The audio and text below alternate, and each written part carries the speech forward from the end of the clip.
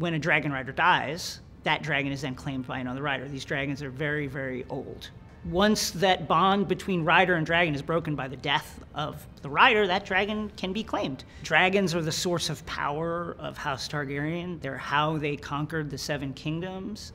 And you don't want to leave one unoccupied for too long, or something like this may happen. Now, this is kind of a jerk move by him, but the significance is we're already seeing this schism developing, right, between Rhaenyra and the people who support her, and Alicent and the people who support her, uh, Rhaenyra's boys and Alicent's boys. And it's important because what just happened is Queen Alicent's side just got the biggest dragon on the block.